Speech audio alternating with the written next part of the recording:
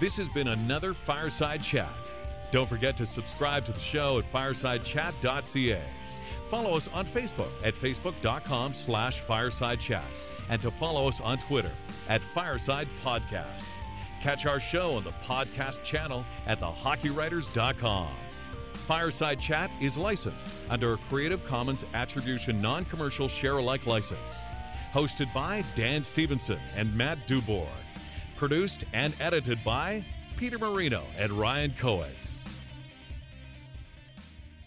Seven wins in a row, and the Flames are back in a good playoff spot. And as usual, I'm Dan alongside Matt, ready to talk Flames hockey. And Matt, did you think we'd be sitting here after this week of hockey looking at a seven game win streak? Not really, but hey, you can't really complain with any of the results that the Flames have been getting. Let's take a look at the last week of Flames hockey. Um, coming into this week, you expected we'd win two of these, and I expected we'd win all three of them. The first game of the week, Ben Bishop uh, made his LA Kings debut and lost in overtime against the Calgary Flames. This was uh, kind of a weird game, but TJ Brodie netted the game winning goal in overtime, and Brian Elliott made 28 saves to power the Flames to a 2 1 win against the Kings. I was at this game as a as someone who was there. It was really exciting. This was a fun game to watch. The Tanner Pearson goal I thought might deflate the Flames, but they came back after that. Furley's goal, and really played a great game. And that overtime, that was probably the best overtime I've seen in a while. It was a nail biter, but it was a lot of fun. Oh, for sure. And it was nice to see the Flames buckle down after giving up the opening goal and not let LA dictate the play. And yeah, that was my Mike- worry. I thought we'd just deflate as soon as the Pearson goal went in. Yeah, and good on Michael Ferland for hitting Muzzin and creating that havoc that led to the tying goal in regulation. Well, there's a couple big hits there. I mean, we had the big uh, Giordano hit on um, Dustin Brown as well in the third period. And that was, I think, a bit of a game changer as well.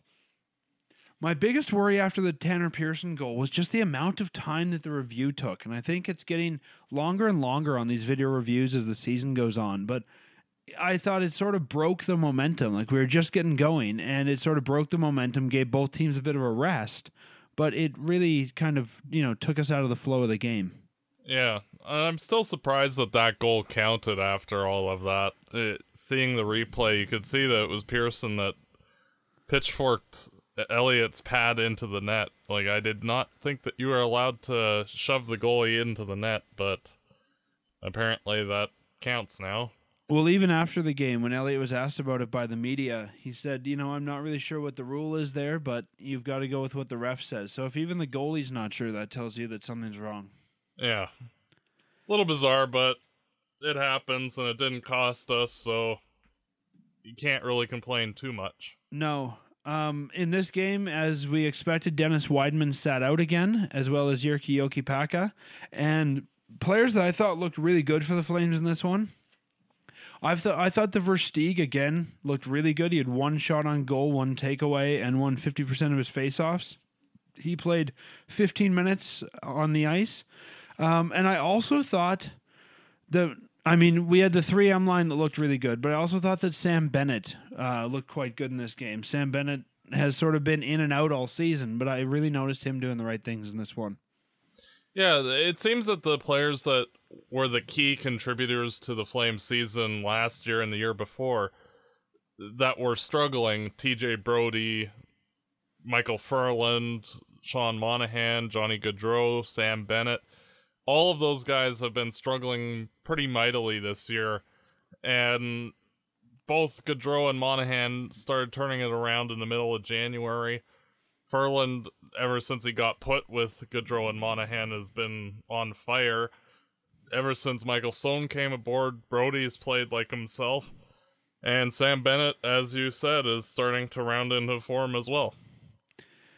Yeah, and you know, speaking of Stone, who you were talking about, he played 21 minutes. He got a lot of ice time. He was the third highest ice time on the blue line. Him and Brodie played the most at a pairing, then Giordano Hamilton and the Engelland Bartowski pairing.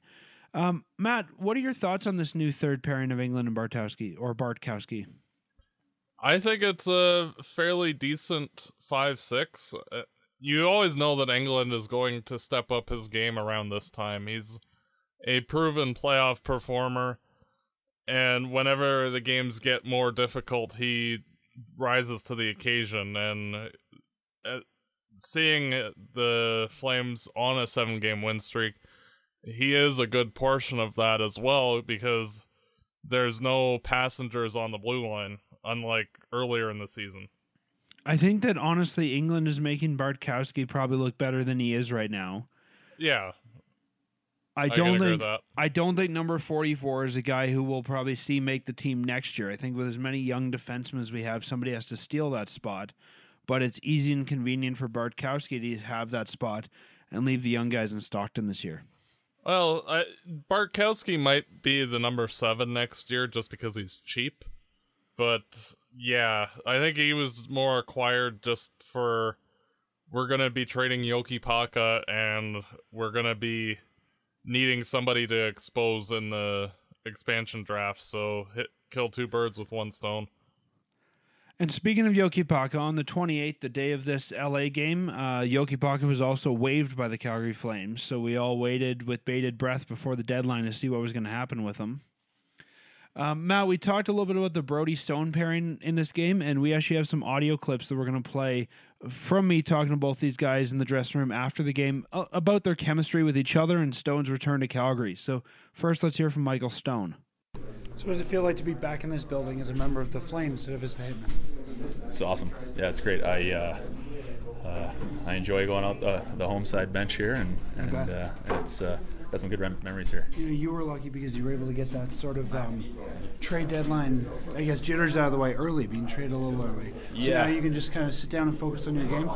Yeah, I, I think uh, being traded to a, a city that I'm comfortable with and, and know well helps a lot with that as well. So um, you know we're uh, pretty well settled in already, and and uh, things are focusing on hockey. You've been playing a lot of minutes with uh, TJ Brodie so far. What do you find about Brodie as a partner?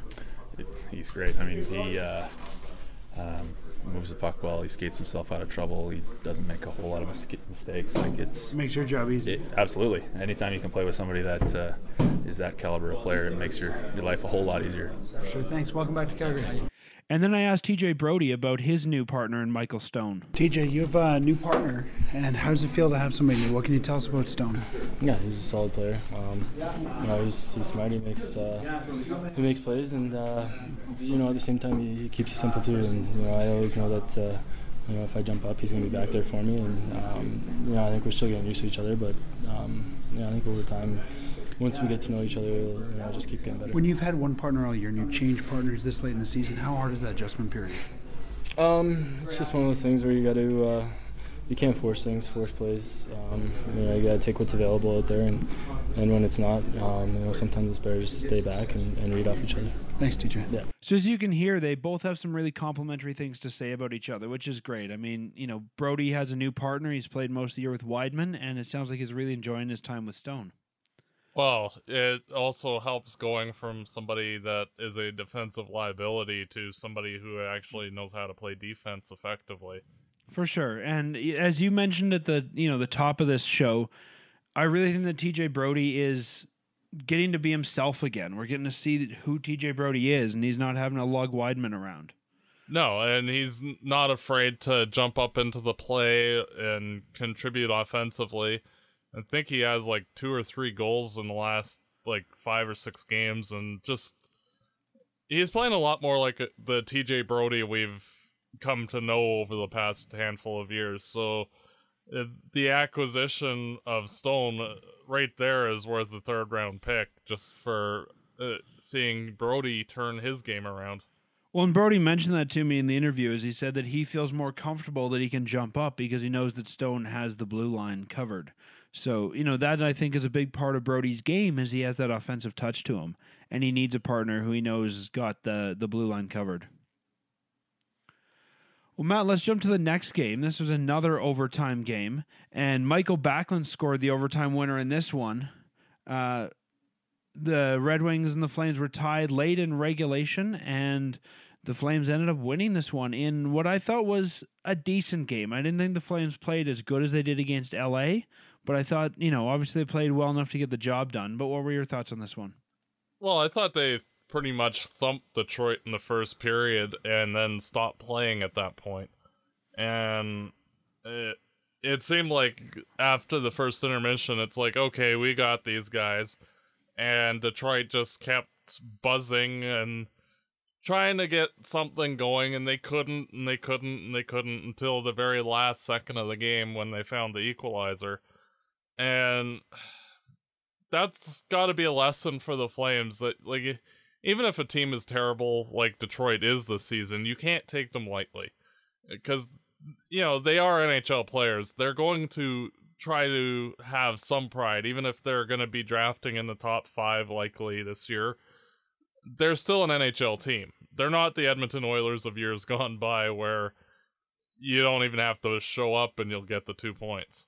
So it's one of those situations that, especially with the upcoming schedule where Calgary is playing mostly elite teams, they need to have 60 minute efforts. They can't just sit back and say, oh, well, we got this one in the bag. Yeah, no, for sure. And I think what you mentioned about them playing the first 20 minutes and maybe, you know, tapering off after that is definitely true. And you can't be doing that going forward. I mean, that's not how you're going to win and keep a playoff spot. You've got to be able to keep, even if not the same pressure as the first period, you have to be able to keep consistent pressure on for all 60 minutes because this one could have easily run away from us if Detroit would have, you know, gone on a bit of a hot streak at the end. But I think, as we've seen a lot lately, Brian Elliott, I think, really kept the Flames in this one. Yeah, and a lot of Flames fans have complained that, oh, the goalies haven't really stolen us any games this year. Well, that's changing. And the real Brian Elliott, the guy that we spent the second round pick at the draft last year to get, is actually playing in the net for Calgary. And now we have a legitimate good starting goaltender in between the pipes, so Flames fans don't have to worry about, oh, is the goalie going to be okay enough for us to get two points? You can see that he's going to make a good save and not have to be concerned about every single shot heading his way. The Elliott that we saw up until I'd say mid January really didn't look like he was worth that second round pick. But now seeing how Elliott's sort of, you know, straightening out this year, I would be very excited to bring him back next year. And I think right now we're getting a better value than what we paid for him.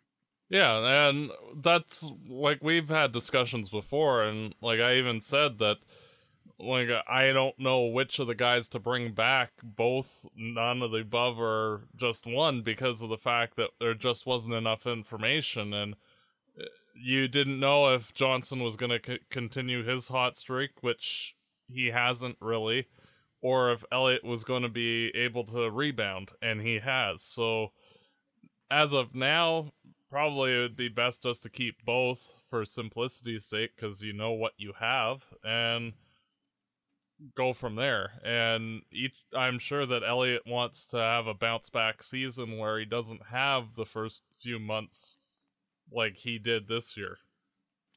Yeah, I think right now, if it was me, I would keep Elliott and maybe let Johnson go to July 1, see what else is out there, and then offer him a contract after that. I just don't want to get complacent if there might be something better. Oh, of course, but usually we'll have that figured out before July 1st, especially now that you can talk to people beforehand without getting That's true. fined. So, That's true. So yeah, I mean a, a Red Wings game that I think we are lucky to sneak away with a win in. Um, and then the third game of the week was one that I was a little bit worried going into. This is a matinee game. The Flames generally don't play well in matinee games, but they came out strong. And there was four Flames scored in the first period of this one. All five goals came from different Flames. The Flames thumped the Islanders five to two in a 2 p.m. game here at the Dome. Yeah, you got to figure that this had a lot stacked up against us. It was a Sunday afternoon game against an Eastern Conference opponent, and the New York Islanders won five games in a row coming in, and they beat the Flames in each of the last five times that we played them. So it wasn't looking like it was going to be a good one, and well, that last five minutes of the first period was fun. Yeah, I mean it was you know it was awesome. And looking at the guys who scored, I mean Michael Frolik, T.J. Brodie, Michael Ferland, Sean Monahan, Monty needs a goal. Versteeg got his twelfth goal of the year. Like it's all the players who sort of need to be scoring right now, minus Johnny Gaudreau, who did get an assist. He got his thirty first assist of the year on uh, Monahan's goal. But all the guys that really need to be scoring are scoring, which is awesome. Yeah, and it you know it's a weird period when a four nothing score is actually complimentary of the goaltender. Like Greiss was great in the first fifteen minutes. Like it could have easily been seven or eight nothing had he not been as good to start the game. Yeah, and this was a game I think that the Flames really needed. It wasn't an overtime win, it was a regulation win, a big regulation win. And I think going into the toughest part of their schedule going forward, um, you know, this is going to put them in good spirits for the three day break and I think set them on that right foot. Yeah, and they did allow that one goal to Tavares. And yeah, I was a little worried about that. Like, are they gonna allow the next goal or the next one after that? And like, is this gonna be like a repeat of the Nashville game from a couple weeks ago? But they settled it down and they started pressing again against the Islanders and eventually took the 5 2 lead after Ho-Sang nailed Hamonic in the flame zone, allowing a 3 on 1. And like it, after that it was like okay the flames definitely have it in the bag and then they just played out the clock elliot did allow a l- little bit of a soft goal to chimera but it happens But you know, you you mentioned a good point there. Is they played out the clock. I thought clock management in the third was really good. This team sort of started to shut things down and play a lot more conservatively, and they managed that clock very well. Where sometimes we've seen when they're down, they're trying to add a goal or two, and it ends up getting them in trouble.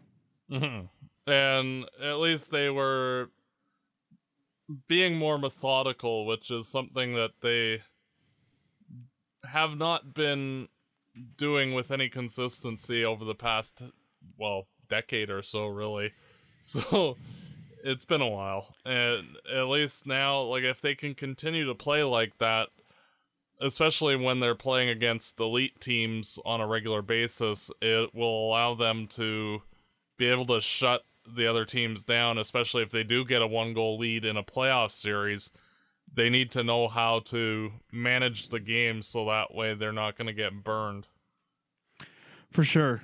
Um, I I really can't look at anything in this game and really give any constructive criticism or constructive feedback to the Flames. I thought that for what it was, the Flames did a very good job. Yeah, uh, there's no complaints really.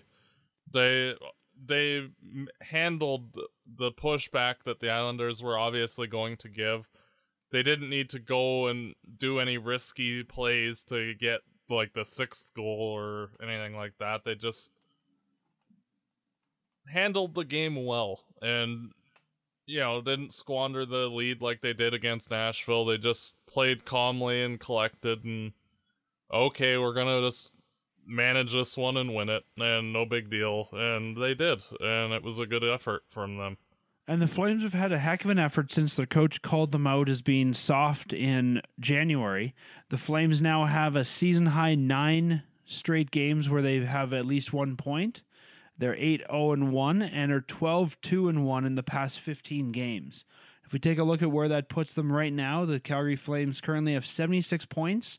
They're the first wild card in the West, tied with Anaheim, um, who have one game in hand. And next below us is St. Louis at 69 points, who hold the second wild card spot. So, Matt, I mean, there's been times when we've been looking at what's going to take us to claw into that second wild spot. And right now, if you look at this team, we're looking at this as you know what, we could surpass Edmonton right now. And if the Flames get lucky, they could potentially, if they keep it up, they could steal the division too. It's not entirely out of reach. They're only seven points back of the Sharks. Stranger things have happened. We've made up 10 points in the last month. So it's. You know, stranger things have happened. And that. It's amazing to see that like the, they are tied with Anaheim for the 10th best record in the NHL, two points behind Edmonton. Who knows? We might end up having home ice advantage in the playoffs. Like, I don't think anybody would have thought that in January. No, I mean we've had sort of a rotten up and down year this year, and even to be where we are, let's enjoy this. Yeah, and like since uh, the middle of November, when the Flames were having the their fun start to the season, the Flames actually have the seventh best record in the entire NHL over that stretch. So, you know, that's a credit to the team. Like, it, we do have a genuinely good team. It's just now we're heading into another difficult stretch of games where uh, the whole stretch from Thursday, March 9th, right through the end of the season, not only are the Flames playing every other day, but most of the games are against either playoff teams or teams that are very close in the hunt, like Los Angeles. So, Matt, in order to get a seven game win streak, I mean, that's an impressive streak. And if you look at the NHL currently, we're tied with, I believe, Chicago is the only teams that have a seven game win streak. I mean, that's impressive any year. But what do you think has changed recently for the Flames to go on that kind of a run? Uh, I'm going to be unfair to one member of the Flames, but uh, not having Dennis Wideman in the lineup, it has. Uh, it's not just him. Like removing him and replacing him with Stone was part of what's changed, but that trade also was basically a trade getting a top pairing defenseman at the same time because TJ Brodie went from being borderline terrible this season to being the usual first pairing defenseman that we've been seeing over the past handful of years. So not only did we get a number one, number two defenseman, but we also got a good number four, both at the same time, and that just solidified everything on the defense core. And the Flames have been extremely stingy surrendering offensive zone chances, which again leads to fewer goals against and more wins. So you're saying if they would have benched Wideman earlier, they would have had greater success? Well, they would have needed a quality replacement. I don't think like if you would have subbed Kulak in or say Kylington or whomever, I don't think it would have had that good of an impact because Brodie still would have been trying to cover for the other guy. But having Stone there, who's a legitimate number four, it's a win-win. For me, I think the biggest thing I've noticed uh, being in the dressing room after the LA game and just looking around at this team is it seems like everybody's buying in. It seems like everyone's believing in the coach's system. They're playing the way they need to, and everyone understands their role on this team now. I mean, we're starting to see guys like Monahan and Gaudreau starting to pick things up. I think it's just that mental aspect that everyone believes, you know what, this team can do this. Yeah, and Calgary does have the depth up front to be a quality playoff team. It's just for whatever reason, a number of the players have struggled for most of the season. Monahan, Gaudreau, Bennett, it, Brouwer. So those guys are starting to come around though, and like if you look at the Flames' fourth line, like with uh, Bouma, Stajan, and either Chiasson or Brouwer, because they've changed at times. Like that's a really good fourth line. And then like as you proceed up the lineup, like there's not really too many holes at any point in the lineup. And with Michael Ferland being a legitimate option on the first line, that's like a good deadline acquisition right there. So it it'll be remain to be seen if they can continue that. But if they can, like I remember a handful of years ago, like when Minnesota had that one year where like they just like from January on were unbeatable.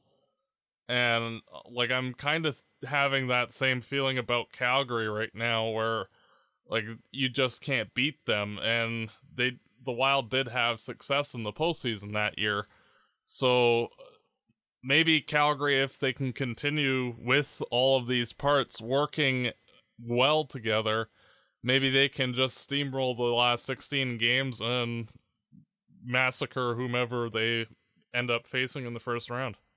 Well, and you bring up a good point. I mean, you're talking about um, you know, the unbeatable team, and we're not going to go 16 to 0 from here on in. There's going to be a time when we're going to lose.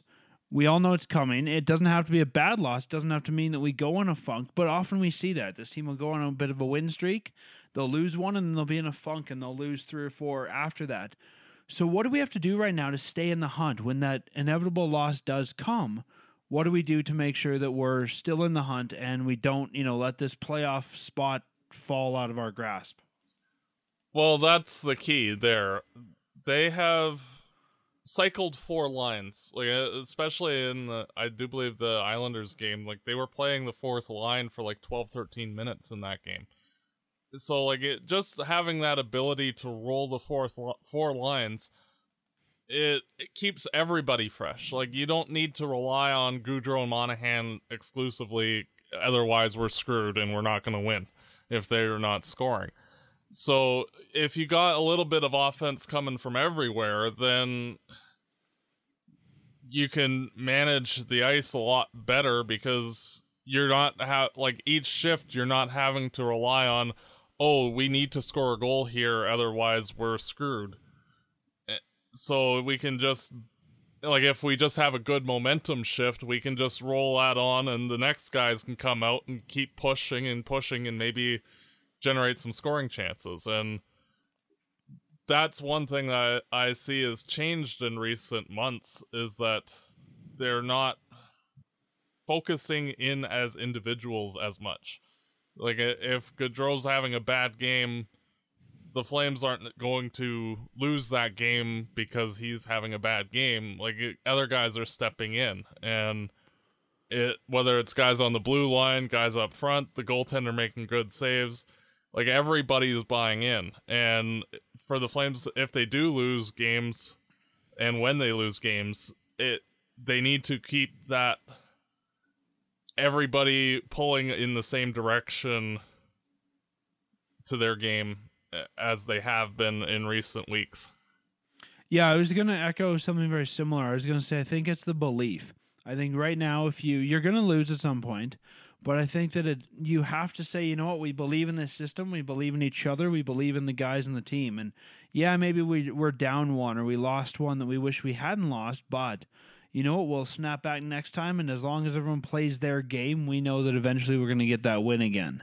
And I think when we've seen the big losing streak this year, it's because guys get out of their heads.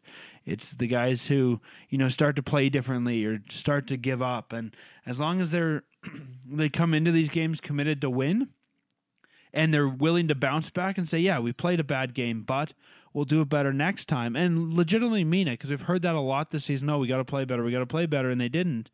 I think that as long as everyone's buying into the system and believing in each other, they're gonna be fine.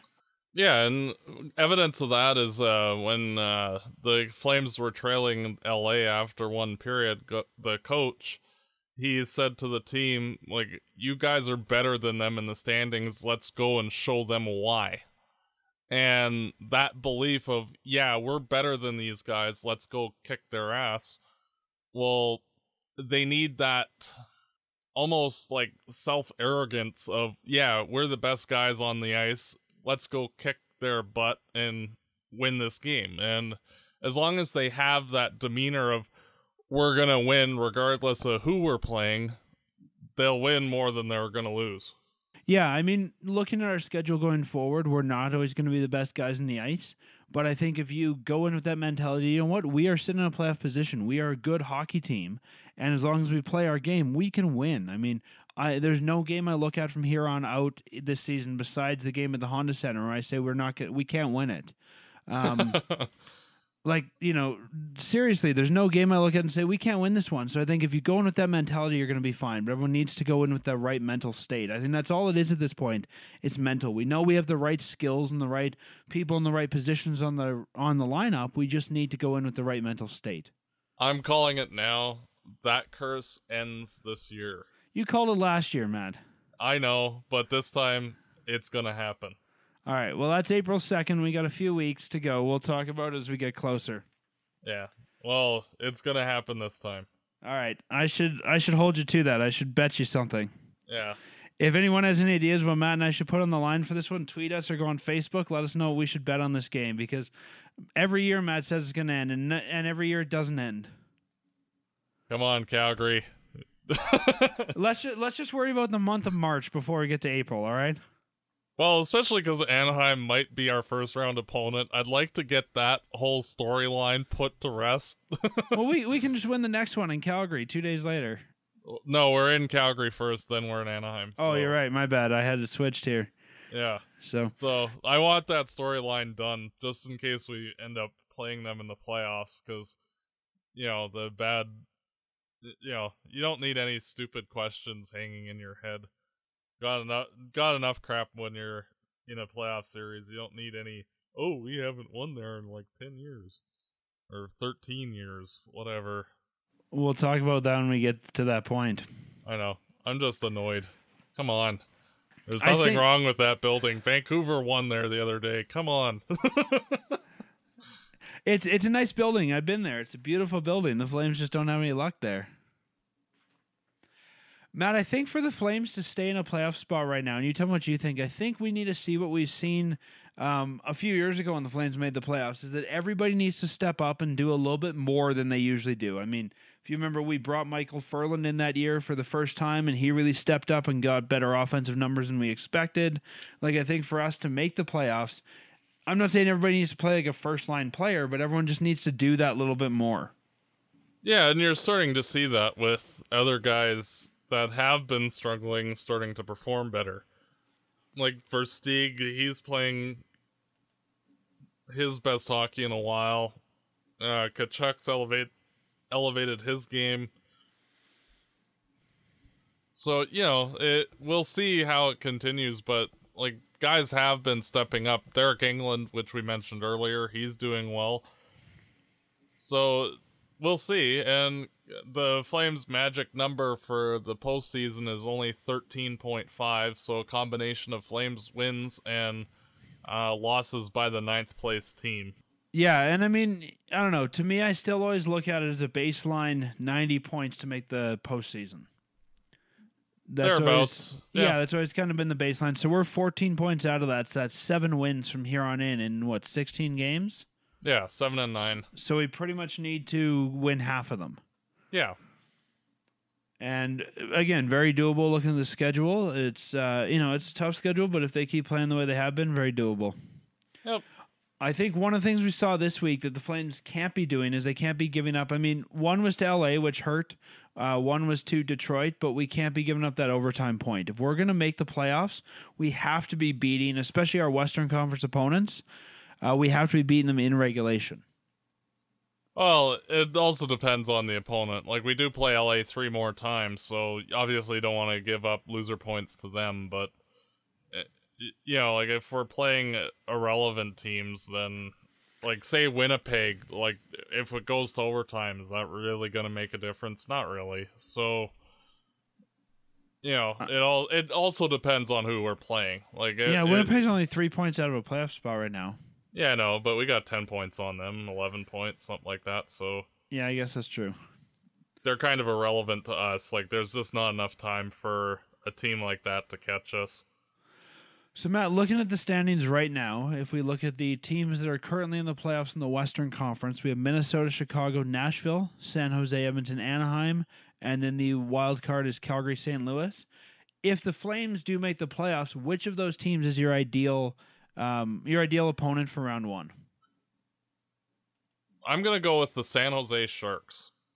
The Really? reason, the reason being, is that Calgary is built very much in the same way that the Pittsburgh Penguins are, and we saw how they handled them. So it, we're a fast team. We have the same system as at Pittsburgh because the Sullivan and Gulutzan were assistant coaches together. So it yeah, that would be my ideal opponent, which would mean us getting the first wild card spot, which coincidentally we're in. Yeah, I'm. I don't know. I'm not convinced in a seven-game series San Jose is going to be our best opponent. I think that they're the most beatable opponent. So I don't know. I'm going to go a different way. I think the most beatable opponent, even though we've struggled against so far, is the Edmonton Oilers. we've had our struggles in the in the regular season against them, but we've had struggles generally in the regular season. I think by the time we get to the end of our 82 games, Talbot is going to be tired. Um, he's not going to be the goaltender he has been all year. I think that McDavid is going to be tired. I think if you can take McDavid out, you've got a chance because they've still got no defense. They've still got no wing depth. It's really their centers that are putting that team together. Yeah, and that's the X factor there is Connor McDavid and Cam Talbot. And sometimes you only need a good goalie and a good forward to win a playoff series. So it, like I, there's nobody on San Jose that truly scares me. Like even the goalies, he's good, but n- not really. And Anaheim, uh, their goaltending is kind of terrible this year. So, But again, with Anaheim, you've got the whole Honda Center factor. well, that's why I want them to win on April 4th. Get that out of the way. Watch them, Matt. They're going to win on the fourth, and then they're going to lose all the ones in the playoffs in the Honda Yeah. Center again. Yeah, probably. Just because. But Um, yeah, and realistically, like the only other opponent that they can face is uh, either Minnesota or Chicago. And if I had to pick one of those two, it'd be Chicago just because of Dubnyk.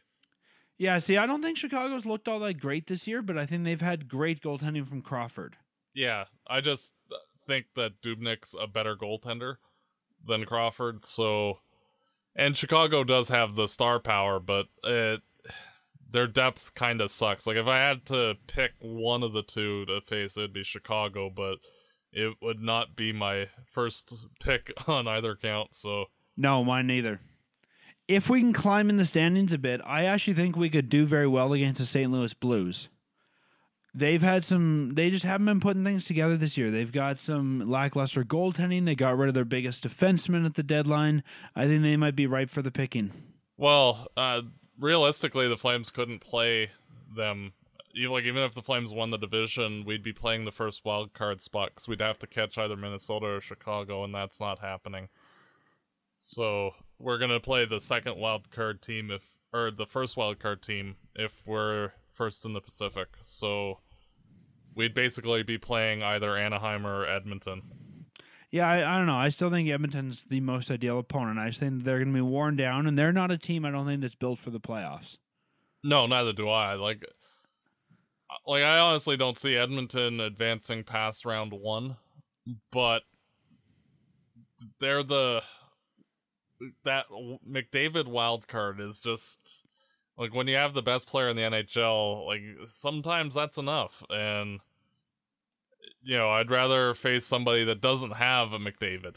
So Yeah, I don't know. I'm um I'm not convinced McDavid alone is going to do anything.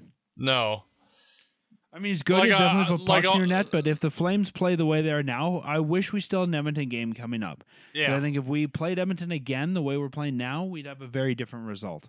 Yeah, probably, but like uh, honestly, I think like if the Flames did match up against Edmonton, that the favorite in the series would be Calgary.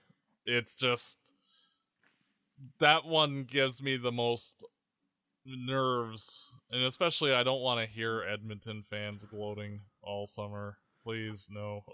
I, I also think that, and, and I don't want to say you should take a player out because I never want to say that, but I think that Calgary plays a much more physical game than Edmonton, and I think you can throw some of their top centers off by hitting them a little bit more than they're used to. And I think if we start pounding some of those guys into the boards, you're going to see them play a different game, especially if it's you know four or five, six or seven games in a row. yeah, and um, fans that have been complaining about Troy Brouwer this season, just wait until uh, game one of the postseason, and you'll understand his value because he does hit and a lot, and he's a pain in the ass in the playoffs. That's when we'll see Brouwer power. Yeah, so he's much like Ferland that one year, where you know he kind of got under Vancouver's skin a bit. So I'm going to sell T-shirts say that Brouwer power. Yeah, well, that's the thing, and like imagining a playoff series where you've got guys like Stone, Engelland, Tkachuk, Ferland, Bouma, call Hathaway up just because why not? and Brouwer all throwing massive checks all the time. Like that'll wear them out really quick, regardless of who we're playing. Plus, uh, another reason why I'd like to play the Sharks though is because of the fact that they're an older team, so the physicality would stand more likely to wear them down. See, and the Sharks choke sometime every playoff. Yeah, And I don't know, you you almost want to take them on hoping it's going to be against you, but if it's not, they generally run right through you.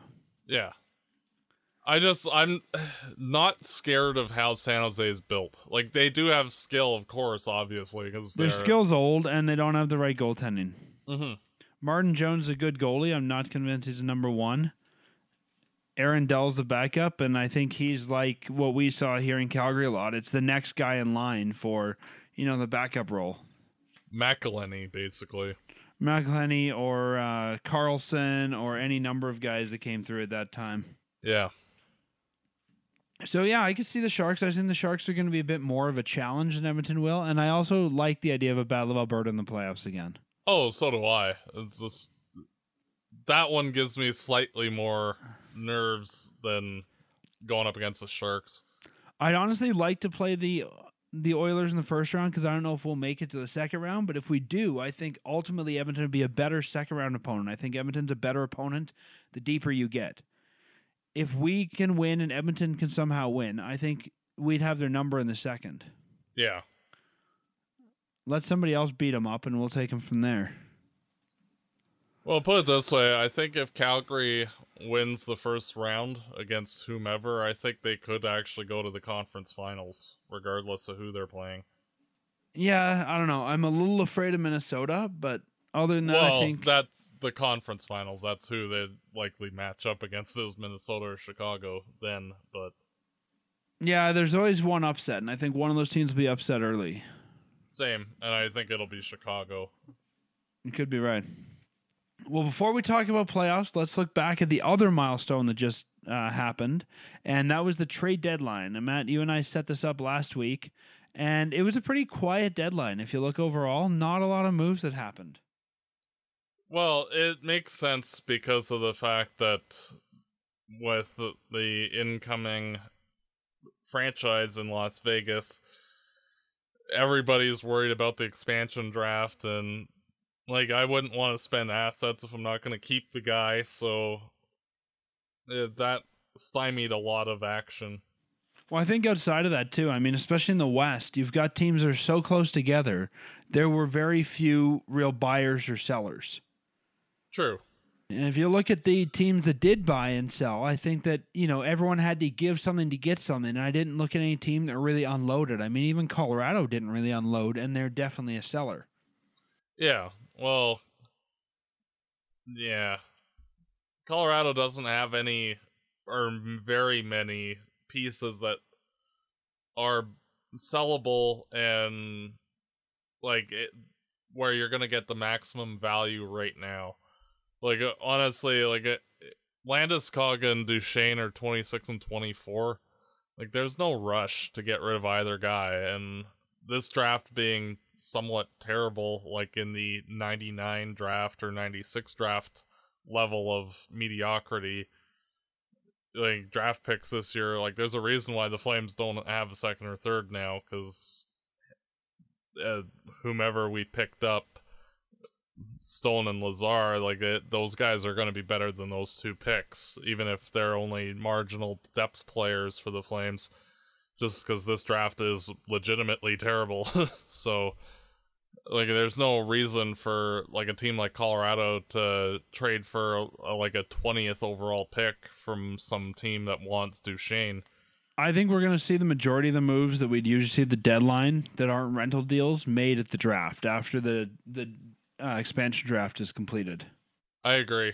Like, I I could see Duchene and Landeskog moving then where the primary pieces coming back are like 2018 draft picks plus whatever. So Well, let's talk about the one move the Calgary Flames made. We waited with bated breath all day for the Flames to do something, and the Flames deal came in pretty much right near the deadline. The Calgary Flames trade with an unusual trade partner, the Ottawa Senators. I can't remember the last time we made a deal with the Sens. Can you? Oh, yeah. Uh, Yeah. Chiasson for uh, Sieloff earlier this season. Oh, there you go. Okay, so we are familiar bedfellows. And the Calgary Flames gave up Jyrki Jokipakka, who just hours earlier had cleared waivers, and a 2017 second round draft pick in exchange for forward Curtis Lazar and defenseman Mike Kostka. And Mike Kostka was immediately assigned to the Stockton Heat, where he is now wearing jersey number uh, 22. And Curtis Lazar has yet to play a game for the Flames, but he's he'll be wearing number 20 after his previous number 27 is worn by Dougie Hamilton here. So, Matt, uh, why don't we get your initial thoughts on this deal? Initially, seeing a second round pick being traded is always like, oh, that's not good. It's very Sutter esque. Yeah, but looking at the draft more deeply, like it in a normal year, like that would be like say like last year's draft. You're talking about a 95th to 120th overall pick, so like a fourth round pick.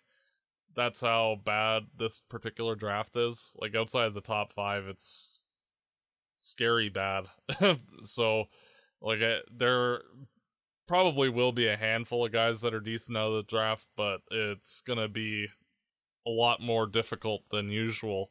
So, getting a guy that was drafted in the first round and has been a quality third, fourth line forward is a good thing. He's only 21. He's a right winger, which obviously helps. He's a center mm. too, but a right shooting right winger. Yeah, it which that helps organizationally and personality wise, he's very much like Craig Conroy. So that's what the team needs is guys to keep the room loose and that that is important and with him only being 21 he fits right in the that grouping of the leadership on the team and i think that lazar will end up being like the third fourth line kind of like a stefan yell-ish role player type like i don't see him being a 30 40 point player for the flames but just that depth guy that can be a pain to play against and he's not a skinny player by any means so it it helps. And like any other year a second round pick for lazar would have been a massive overpayment but this year not so much.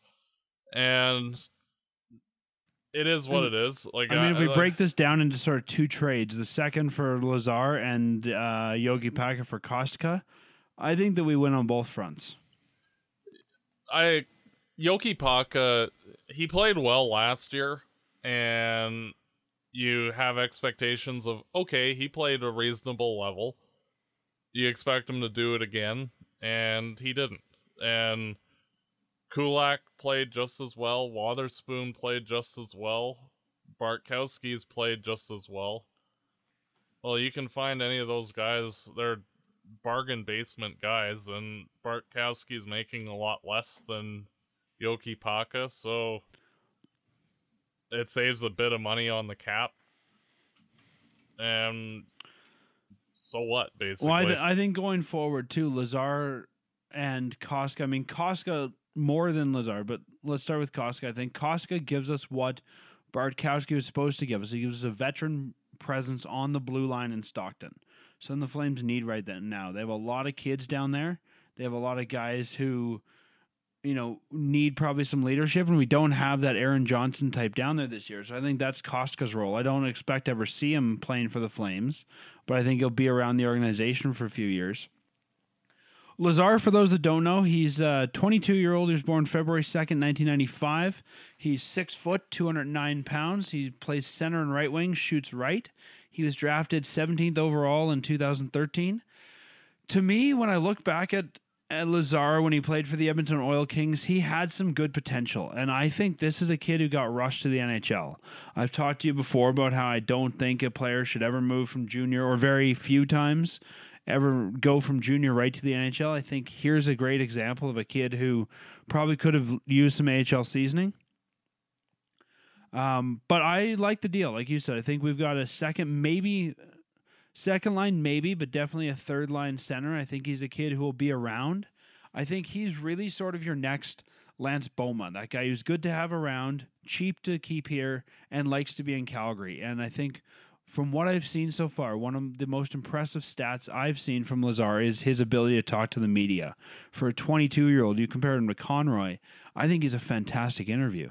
Yeah, and that's important just for keeping the room light, especially like in the playoffs when like everybody's a little bit on edge. Like you need somebody just to keep everybody loose a bit, so like y- your nerves aren't like you're not freaking out basically, and it sounds silly, but it, that is important, and I'm hoping that he as he's working out with the team trying to learn the flame system that he can start to rebound from a bad season. He had mono at the beginning of the season so he lost a lot of weight and that's the reason for his downturn in stats. And uh like i like i don't expect him to have a great end to the year particularly. Like i don't see him stepping in and being like an amazing third line forward for this team but he'll be there. And you know he'll contribute when it's he gets the opportunity. And next year when he's able to start fresh and have a good off season of training then he should be fine to rebound physically from his ailment I think you're right, Matt. I think that um, Lazar is a prime candidate for a bounce back season next year. Like you said, he had mono that really affected him at the beginning of the season. He didn't really get the the full training camp. He only played 33 games for Ottawa so far this year, and he has one assist in and one total point. So I think that if you bring him in, you get him acquainted with this team, and you bring him back next year, I think he's going to have a lot to prove. And I would not be surprised to see him come out and look really good after a summer of rest. Yeah, uh, like I'm expecting him to be basically taking Chiasson spot on the team, more or Put less, on- like the third, fourth line right winger. I could even see the team trying him out on the first line. Um, I I have to think that when he's playing his best, he's going to be better than Ferland. And just looking at his play style, I think there might be some chemistry there with him and Johnny and Monty. I don't think he's a bona fide right winger, but until we get one, I think he might be a better option than Ferland. Well, all those kind of things will sort themselves out in time. Like Ferland's on a hot streak right now. Does that continue indefinitely, or is this just a temporary thing? Who knows? So we'll just have to wait and see. Like, there's no definite an- answer to it. Like, he may end up on the line with Bennett and save Versteeg at some point. Who knows? Yeah, but it's another first round draft pick on the Flames team. They're starting to collect these first round picks, both from their organization and others. And I think it's a wise move. Like you said, it's a weak draft year. The draft pick we give up, I don't think is going to amount to much, anyways. We'll see. But even if it does, I think sometimes it's better to go with what you know than what you don't. And in a draft year like this year is expected to be, I think maybe that second round pick turns into something, but maybe it doesn't. And at least with a guy like Lazar, you know what you've got. Yeah. And like I've even said on the show before, like I'm not opposed to trading the Flames first round pick this year either. Like it the draft is like a if the Flames are say picking in the 16 to 18 range, like honestly the best player is uh Adam Foote's son. Uh Kalen, I think. Um and like he's just a defensive defenseman. Like and like that's the best guy that's available there. And it's like um this draft sucks. So you know it, like that's not like he's not one of those six foot seven monsters that you see going in that area. He's just a regular player. But that's how weak the draft is that like that's one of the better options is a guy who eventually if he works out might be Deryk Engelland. It's like, yay, this draft is not good. So, Well, and you and you mentioned two drafts like this one, 1999 and 1996. And if we look back at the top 10 picks in those drafts, um, if we look at the 96 draft, the top 10 picks: Chris Phillips, Andrei Zyuzin, Jean Pierre Dumont, Alexander Volchenkov, Rick Jackman, Boyd Devereaux, Eric Rasmussen, Jonathan Aitken, Ruslan Salei, and Lance Ward. So I mean, of that whole top ten, Phillips is probably the only guy that did anything.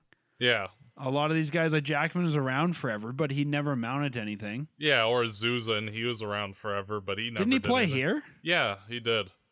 I But like think he never amounted to anything like his potential. Like everybody kind of sucked. JP Dumont was the only good forward in the top 15. So like, A- and then if if we look at the 99 draft, this is the one where there was a big trading carousel from the Canucks trying to get into the top two so they could draft the Sedins. And if we look, we have Patrik Stefan. There was a big um, bust of a pick. Daniel Sedin, Henrik Sedin, Pavel Brendel, Tim Connolly, Brian Finley, Kris Beech, Taylor Pyatt, Jamie Lundmark, Branislav Mezei, Oleg Saprikin. Like those are the top eleven picks. Our pick was Saprikin. That's another terrible year.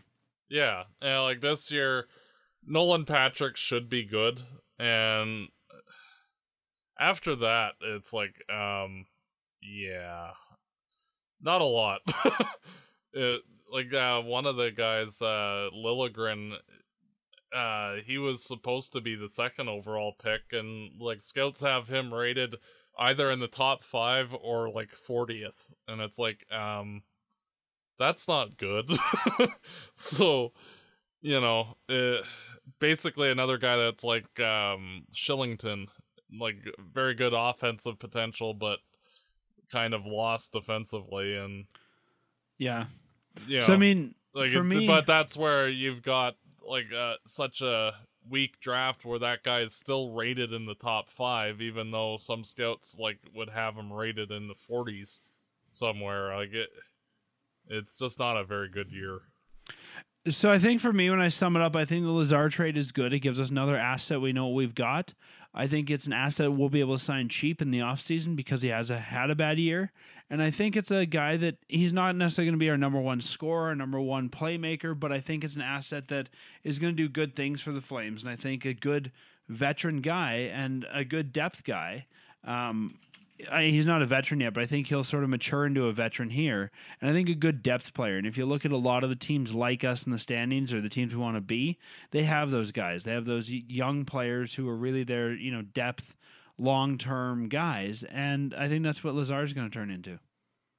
Yep, and everybody that wins the Stanley Cup always has good players up and down the lineup, and And most of them are young. Yeah, and Lazar, he's not going to be an expensive player for a number of years, so that'll be a good cap saver type move, especially if he does emerge into being a better player.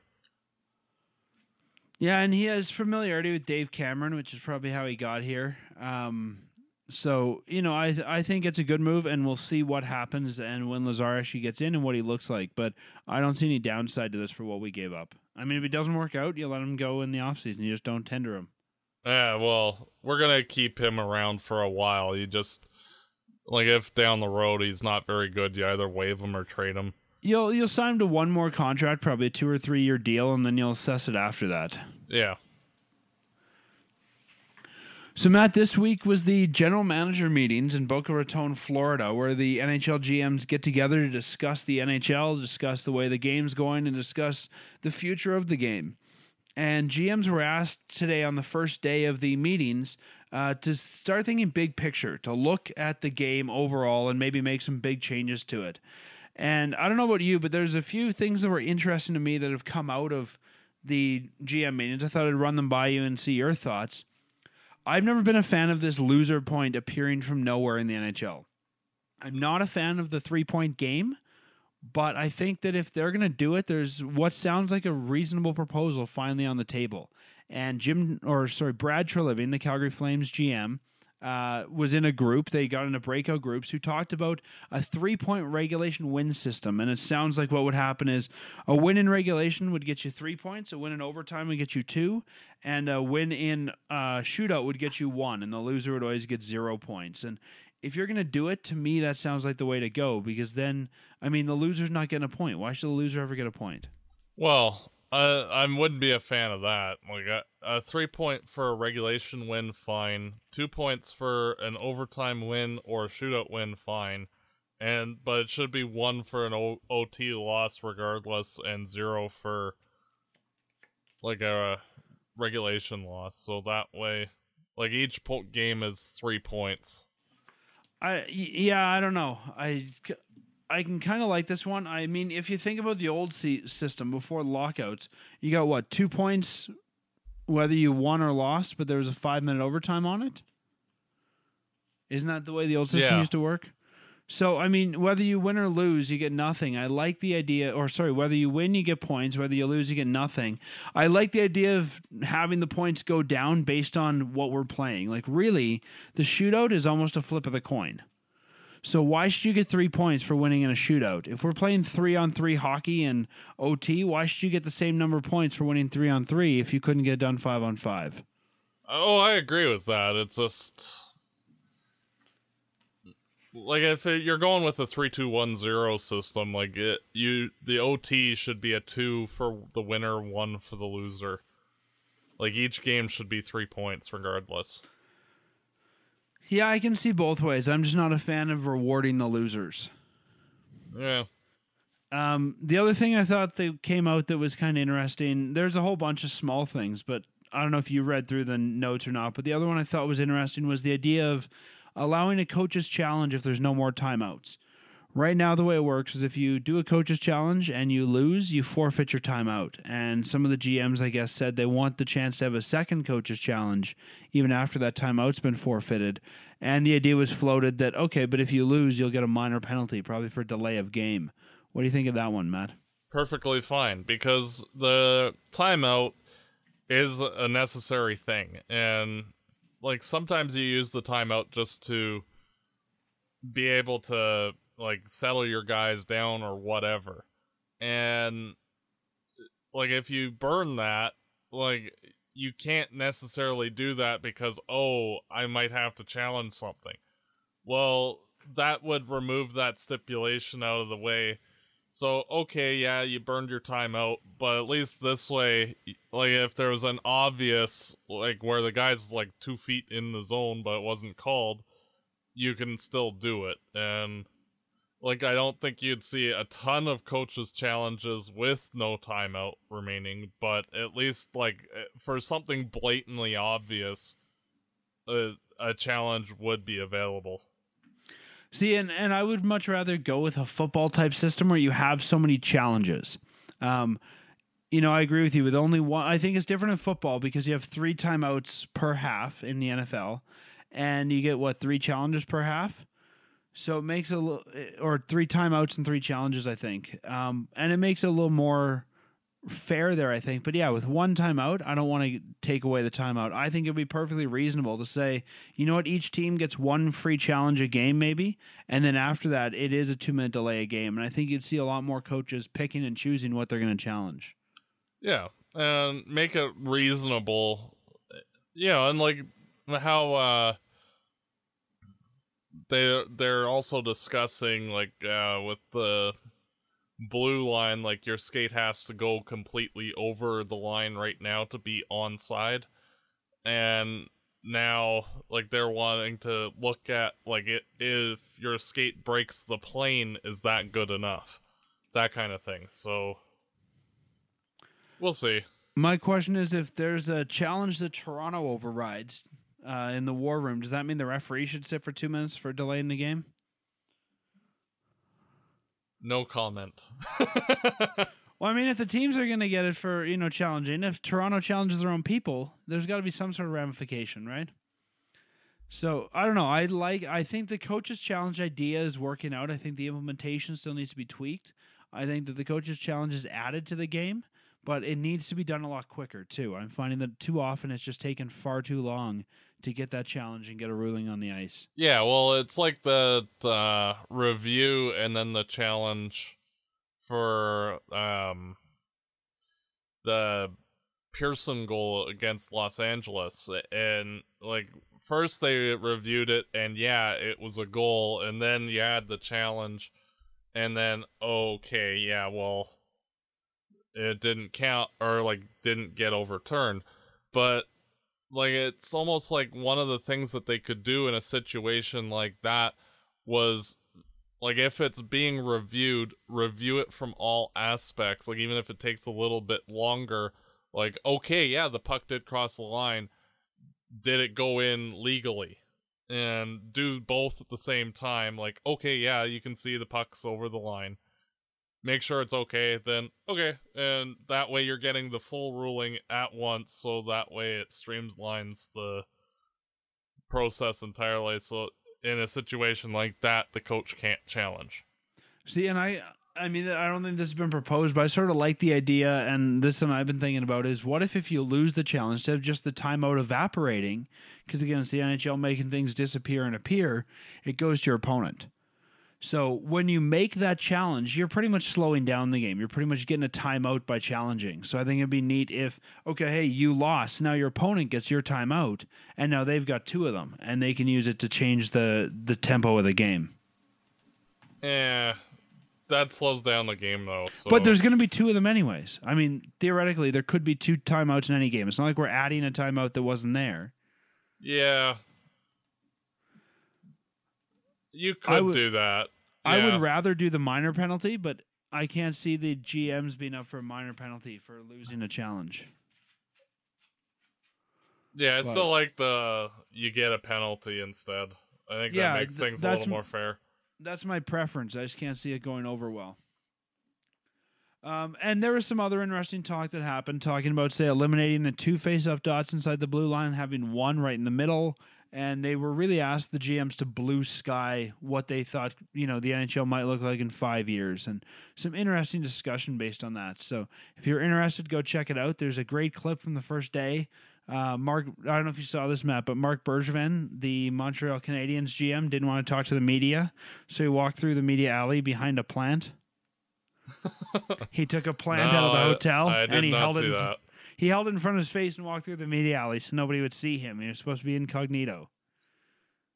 Why not? So I don't know. It's uh, I guess they're having some fun too. So yeah, I- guess I wanted to ask you: Are there any things? I mean, if we're blue skying like the GMs did, is there anything in five years that you think needs to be changed in the game? Anything longer term that you think the NHL needs to look at? One thing that I would like to see implemented is if you have two icings in one minute, you get a delay of game penalty. So that way, like you, especially like in the last five minutes, you see some teams sitting on a lead, especially if they have good centers, just constantly icing the puck, and it gets a little boring because you're just wasting everybody's time. So, two icings in a minute, you get a minor penalty. That's interesting. I never thought of that, but that's kind of interesting.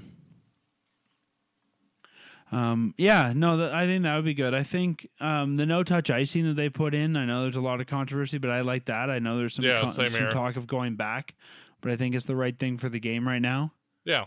Well, it, it it does cause an injury about once every 20 years, and Pat Peake and Joni Pitkanen both shattered their heel because of it. So you know, for a nothing play, like honestly, how many times a year does somebody beat out a close icing in a situation like that that leads to a goal? Maybe once. Uh, I'd rather err on the side of caution and not have somebody's life being ruined because they shattered their foot. So, you know, Yeah, I, I'm trying to think what I would want to change long term. I know there's a lot of talk about the nets and the pads, and I really want them to leave the goalies the way they are. Um, well, I I I, don't know. I think that you could streamline a lot of the goalie stuff. Like, it, it's ridiculous, but I think you can streamline the pads, but I don't want them to touch the nets.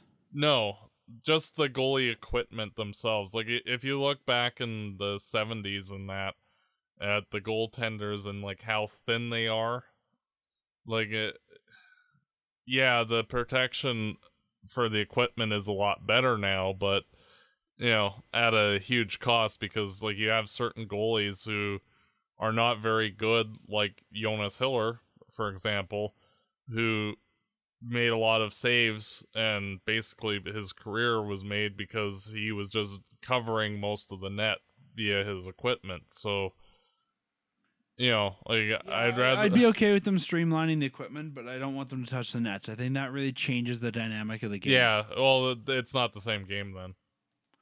Um, the only I don't know. I'm trying to think of what I would like to see. I, I think the game's pretty good the way it is right now. Um, Yeah. A lot of the changes I would want to see aren't necessarily on ice changes. They're more CBA changes. I've mentioned before. I'd like to see player and team option deals come back, but I think right now the way it is on ice, I like the current product. Yeah. So it's just I- mostly minor tweaks. Like I'd like to see the shootout expanded to five skaters, just because it it gives a little bit more drama to it instead of Okay, so that was another proposal that came out today, and the idea that came out was after the three shooters being allowed to reuse shooters. uh, that. That's cheap because like if you have one guy that's really good, like say Thomas Vanek for Detroit and now Florida, he's like amazing at shootouts. Well, you just need a ringer then, and like that just seems kind of cheap to me. Well, I think there's a way you could do it, like they do it in international hockey. Oh, I know, and like we saw like uh Toews run, and I think TJ Oshie where they just keep scoring, like th- that that gets cheap. Like But what if you could do it, say, every third shot? Like the guy can keep shooting, but he can't shoot more than once every three shots. Well, if you have three guys that are good, then you can just massacre the other team and win. Like it, it, it just seems cheap to me. Like, Yeah, I, I think there's a place for it, and I can see why the GMs want it. I mean, we've seen some deep shootouts where you start to get like third pairing defensemen shooting. well, yeah, and that's part of the fun. Like it, that Marek Malik goal in the first year of the shootout would have never happened because, like, seriously, who'd put Malik in? At one point, do you shoot your backup goaltender? Why not? They have to have some fun too. Well, technically, they're a dressed player, right? I mean, if you're going to rotate through the dressed players, you should have to shoot the backup first. yeah. And, I'd love to see some backup just score the winning goal. Yeah, like that'd be awesome. You can't take your pads off. You can't take your catcher off. You just got to go out there the way you are and try to score that goal. yeah. Fling it at the net somehow and beat That's the other right. guay. I think it'd be hilarious to watch. And Yeah, I don't know, and I- watch watch some uh, backup do the Schlemko. pretty much. And, and you know, I mean, I think the shootout's kind of a joke anyway. So why not add the backup goalies to it? yeah, why not? If I had my way, I'd get rid of the shootout, but I know that's not happening. Um, I think the three on three overtime works for right now. It's not my preference, but I think it works for right now. I wouldn't touch that the way it is. Um, so yeah, there's not a whole lot I would change besides trying to get rid of loser points somehow and streamline that. Like I'm okay if there's a loser point, like you mentioned. I just don't like a point appearing out of nowhere. Yeah. And realistically, the 321 system, as I described it, would have virtually no impact on the standings anyway. So, like, it's one of those situations where, like, yeah, you can change it to the 321 system, but if the net outfit uh, outcome is the same, like, what's the point? Yeah, now, but I think you know down the road we'd see some change. I'd be curious to see if there's been a ton of change if we were to model, say, this season on the old on the old uh, point system, what it would look like. That I think would really be the telling point of take the last how many years we've been using this point system and see how they'd model against the old one and what kind of change we'd get. Yeah. Well, Matt, uh, anything else you want to talk flames about? No, I'm looking forward to the week ahead. Me too. So why don't we talk about that one? We had some interesting predictions for last week. Last week the Flames played three games. There's six points in the table. I was bold and thought the Flames would sweep the week with six points, beating LA, Detroit, and the New York Islanders. You thought the Flames wouldn't do as well. Still pretty good, but you thought they'd get four points, beating Detroit and the New York Islanders. So I won the week. Finally, someone's had a move. We haven't had any movement in points since December. So I'm currently leading six to one. So Matt, I think uh, you're gonna have a hard time catching up with me right now. I pretty much have to nail every week exactly the rest of the way to tie you, I think. I Or- think so. Or close to it, anyway. So it takes the pressure off. I can make some crazy predictions. Maybe I'll predict a half point this week. Oh, go ahead. You go first. All right. So this week the Calgary Flames have a few games. They have a three day break. The sixth, seventh, and eighth they're off. Then they're back in the Saddledome for the start of what I'm calling their uh, crazy schedule. They play every other day from here until the end of the season. On the 9th, they're at the Saddledome taking on the Montreal Canadiens. Then they take a quick trip to Winnipeg to take on the Jets in Winnipeg on the 11th. That's a Saturday game at 5 p.m. Mountain Time. And then they're back in Calgary on the 13th to take on the Pittsburgh Penguins at 7 p.m. So if you want to see this team in all its glory right now, go to TickTix uh, on your mobile phone, download their app, and buy some tickets to see Montreal or Pittsburgh. It's a tough week. Uh, two tough teams. I think Winnipeg is a given. Um, I'm debating if I think it's going to be four or six points here. You know what? I'm going to be brazen. I'm going to say that the win streak continues and they get all six points. Wow, you're going for the 10 game win streak. Okay. I got nothing to lose. True. I think they're going to get two points and only going to beat Winnipeg. But they need four, so I'll throw Montreal in the hat, in the ring as well. So. I think of all those teams, Montreal is going to be the toughest. Yeah, I don't see the Flames beating Pittsburgh twice this season, so uh, I'm hopeful, but we'll see. But I'm gonna go with Montreal because they want to pay him back for that game that started the whole mess. So Could back be. at the end of January, so nice bookend to that whole stretch. So we'll see. Let me ask you two roster questions. We've seen Dennis Wideman sitting out the last couple games. Do you think that in the month of March we see Wideman slot back into a Flames game? If somebody gets hurt, yes. You think he's a better option than a call up? Yeah. And he'll be the number six. Um, and they'll be sheltered. Like, whomever of. Like, I'm assuming it won't be Bartkowski getting hurt, because in which case, who cares? And you just slot Wideman there. But, uh, you'll see whomever gets hurt, like, Engelland moving up into the top four and miscellaneous pieces slotting around.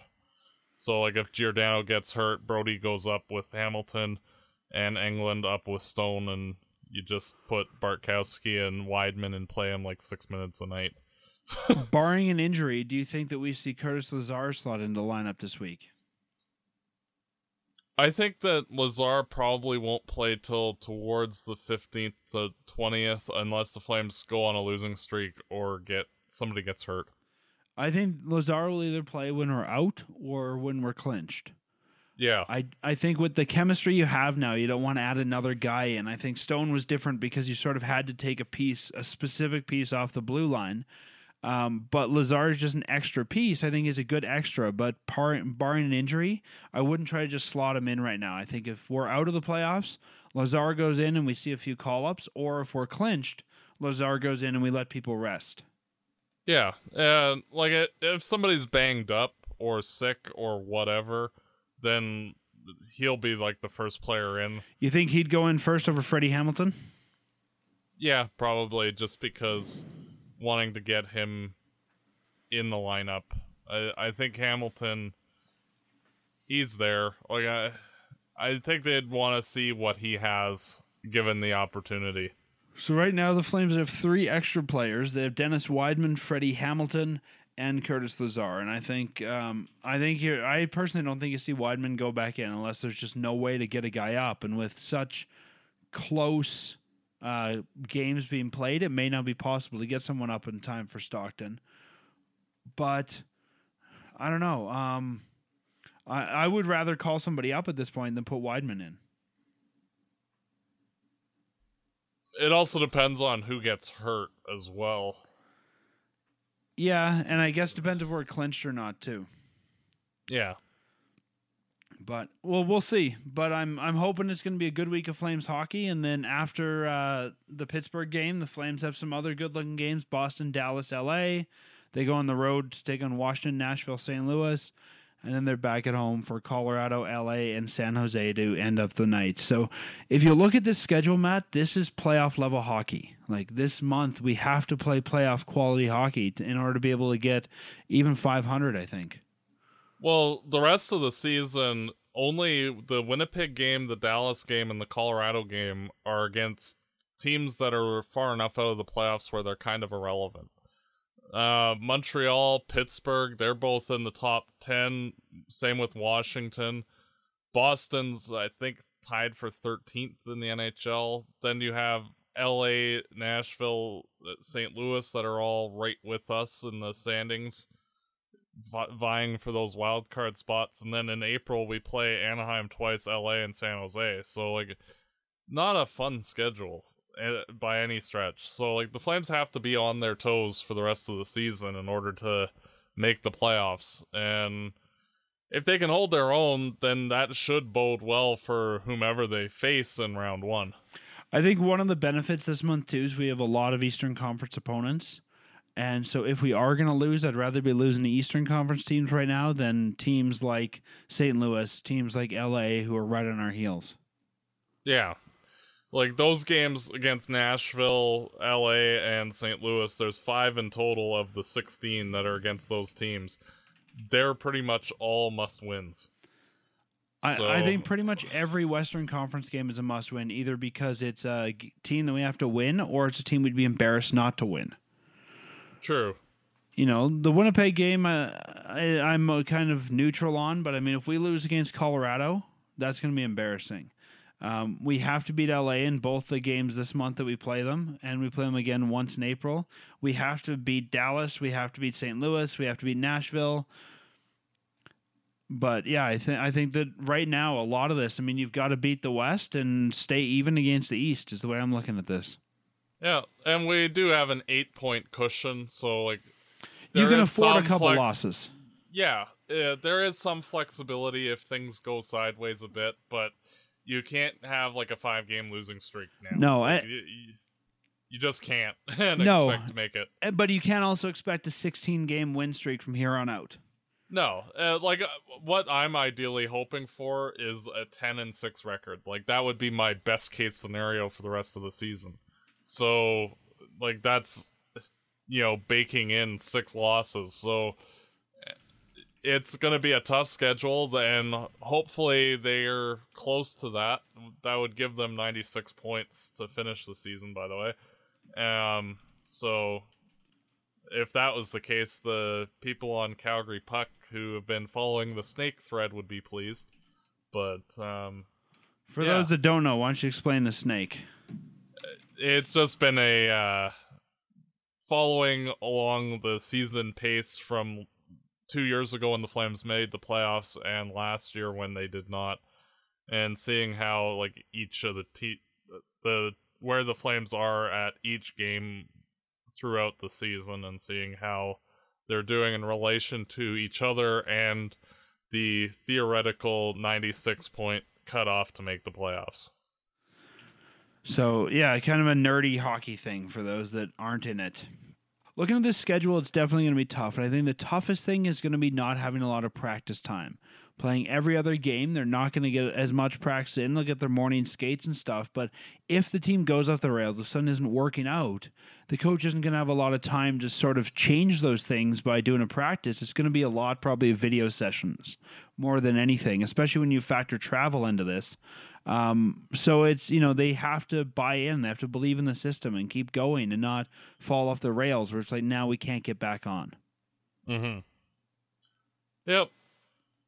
So well, it'll be a bit of a marathon, but when you got 16 games in 32 days, it'll set things up for game one, round one, and they'll be used to playing every other day. That's for sure. Well, enjoy the week of Flames hockey, Matt, and we'll talk to you again after the Flames are done with the Pittsburgh Penguins.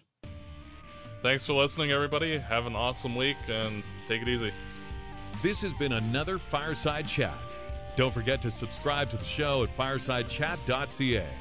Follow us on Facebook at facebook.com slash fireside chat and to follow us on Twitter at Fireside Podcast.